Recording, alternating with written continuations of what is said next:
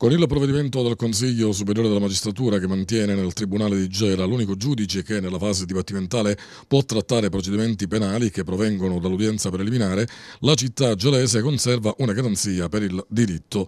Lo dice il sindaco Domenico Messinese commentando la revoca dell'applicazione extradistrettuale al Tribunale di Catania dell'unico giudice monocratico del Tribunale gelese disposto dallo stesso CSM lo scorso mese di dicembre.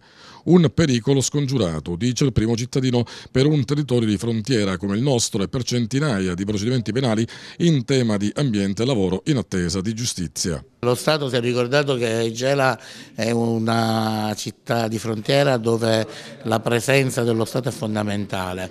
Eh, questo fa onore al CSM che ha attenzionato le problematiche del nostro territorio, un tribunale che rappresenta un presidio di legalità, un tribunale con tantissime difficoltà di personale e questo ultimo trasferimento avrebbe ancora eh, creato dei seri problemi, soprattutto compromesso anni di lavoro e di attività su processi importanti anche a livello ambientale e di tutela della salute pubblica. Quindi un plauso perché sicuramente un'analisi più attenta ha dimostrato che Gela forse deve essere più potenziata potenziata che invece di essere ridimensionata.